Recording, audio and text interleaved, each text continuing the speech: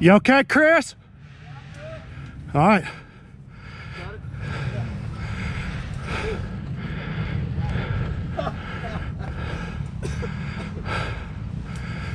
Get out of